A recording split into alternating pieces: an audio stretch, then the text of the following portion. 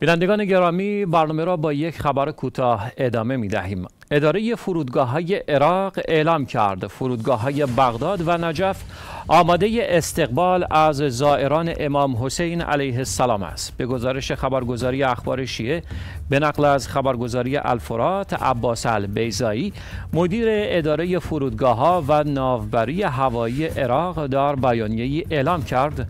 فرایند تجهیز سالن‌های مسافربری، عملیات زمینی و همچنین عملیات پروازی در دو فرودگاه بین المللی بغداد و نجف اشرف را به منظور آمادگی برای پذیرش زائران امام حسین علیه السلام به پایان رسانده ایم.